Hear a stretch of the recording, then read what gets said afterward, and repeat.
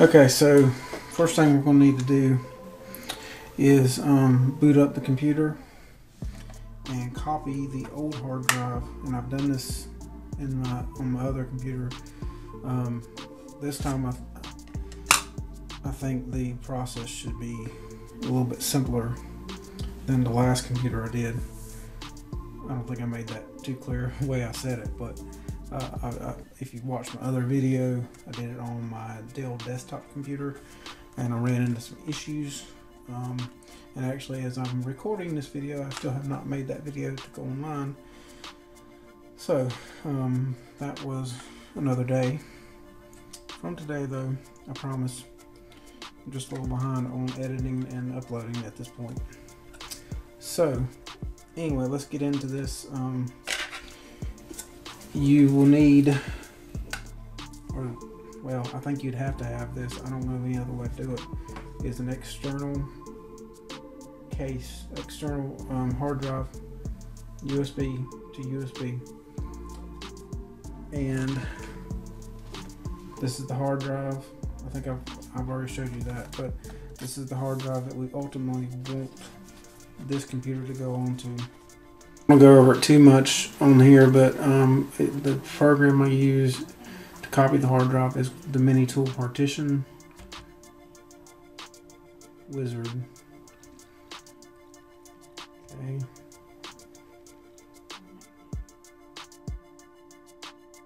This computer has already been upgraded to Windows 10. It did not come with it, um, but just so you know, if, if you own Windows 7, you can upgrade to Windows 10 and you do not have to pay anything. Um, if you miss the opportunity several years ago where it popped up and said upgrade to Windows 10 for free, you didn't really miss the opportunity because I just did this um, like a month or less ago and all I had to do is download um, go to Windows download with ISO or there's a media creation tool that Windows makes for it.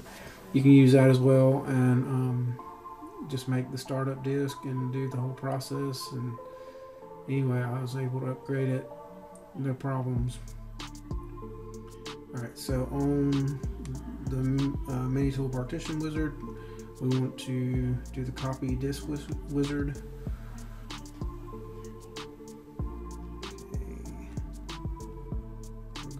to take this the entire drive, not just one partition, but the entire drive, and we're going to copy that. Okay. And we're going to copy the disk too. Okay. Now,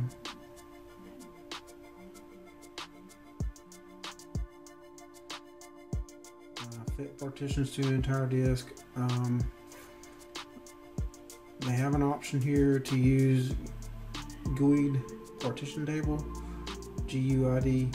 Um, I don't, I'm not planning on trying that because I'm not sure that it will work. Um, because the this is an old computer with a old legacy BIOS, and I'm not sure that that will jive with that partition partition table. So we're going to keep it with a master boot record style partition table. And honestly, for what I'm using it for, I don't think that I need to worry about any of that anyhow.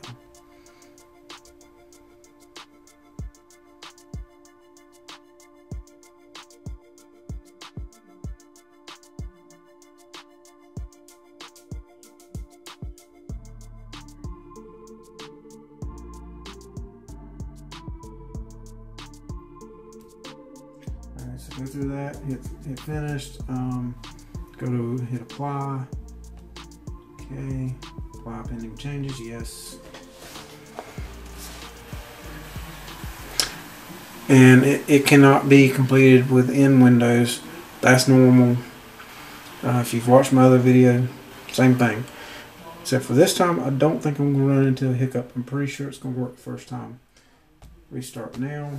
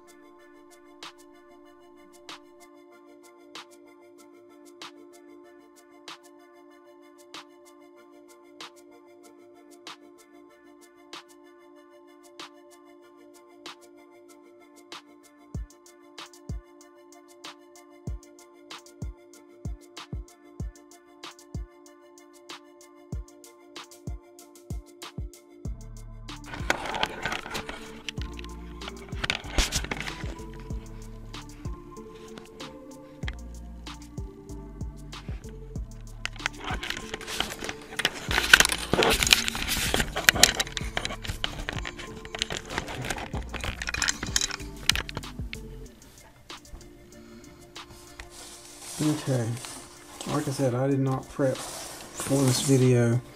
So what you're seeing here is really me trying to figure out where to go with this. But I think this panel here is going to just come off and the hard drive is hopefully going to be underneath it.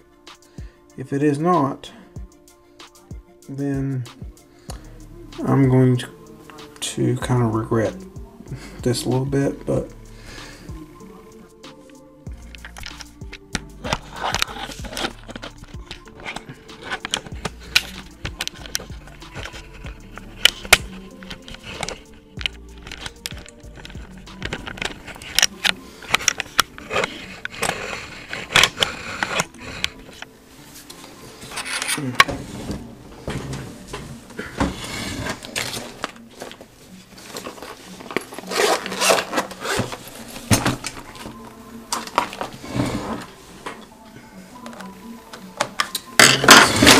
you need a pretty slim screwdriver,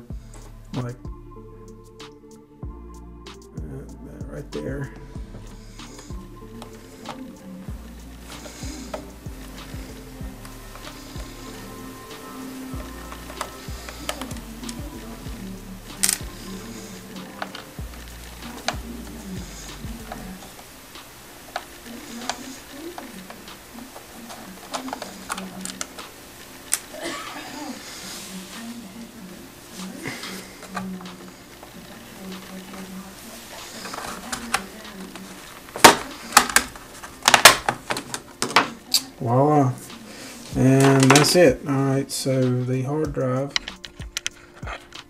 is right here. Over here you've got your memory modules and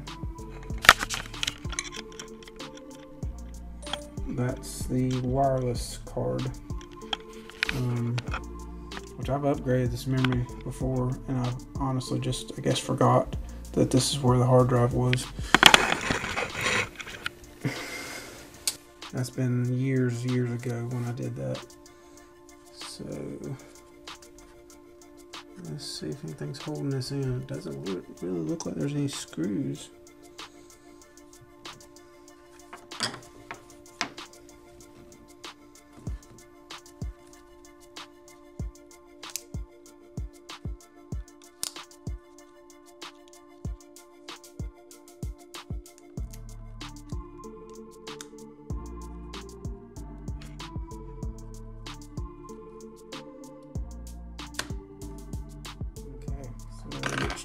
Kind of just pops out.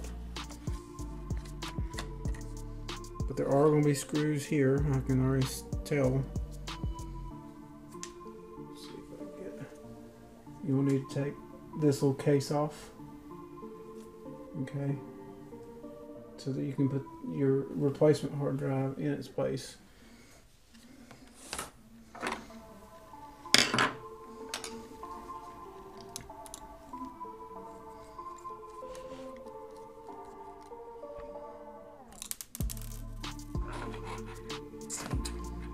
And be careful not to lose screws because it's probably best you put all your screws back in.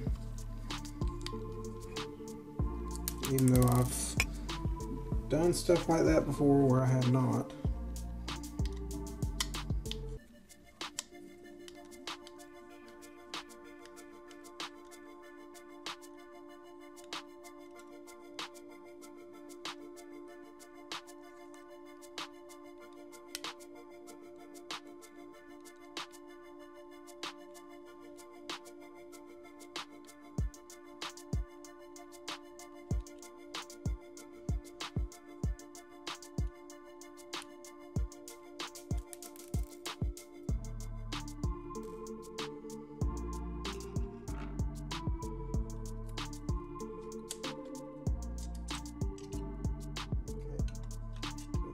Drive just pops out of this little case here. And we're done with that.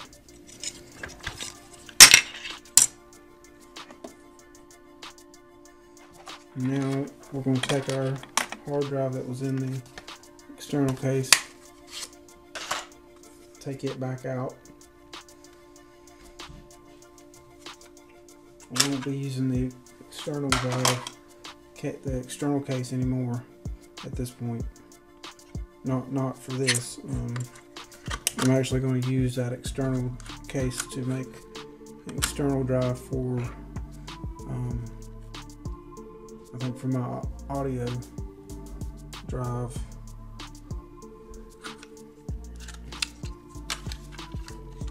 Okay, so we gonna not be quite as perfect of a fit. It's probably not quite quite the same as what came out of it, but it, it it's gonna work.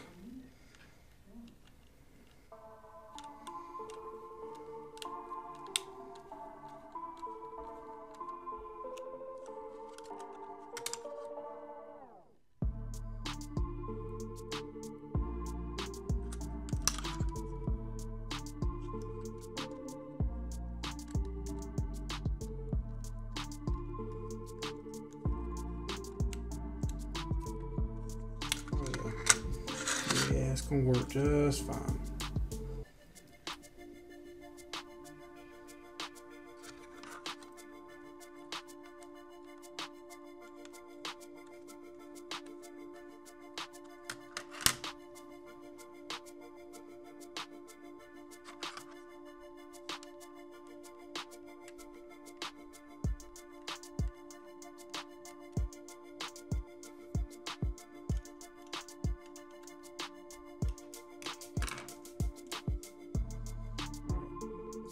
Got the screws back in there, got the case back together.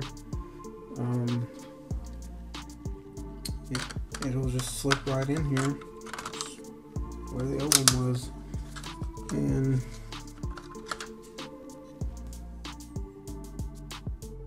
yeah, yep, should just slip right back in here. And it's going to go into this little connector here. And you probably want to just give it a little firm push to make sure it's in there good. If it doesn't make connection to it, you're not going to have a computer that's going to boot. And then we just need to put this back on.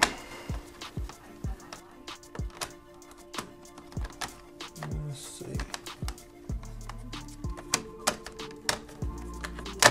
Really shouldn't be that difficult, but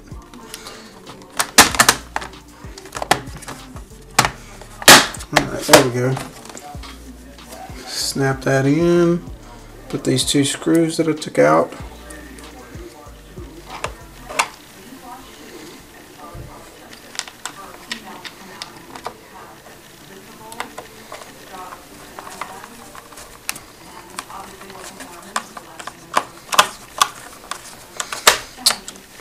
And I think these screws may also be helping hold that hard drive into place since there was no screws in there once you know once I got in there. So this this should be it. If all goes well this should be it. I did this on my Dell yesterday and I had no problem with it um, booting up properly I did have one program that said there was some kind of mismatch, uh, and I had to deactivate the program and uh, reactivate it, and then it's been fine ever since.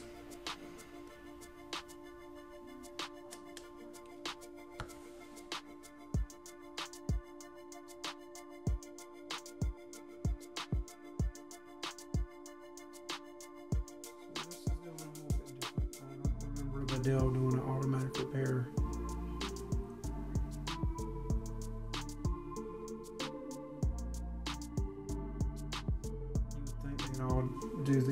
Same thing. I don't quite understand computers sometimes.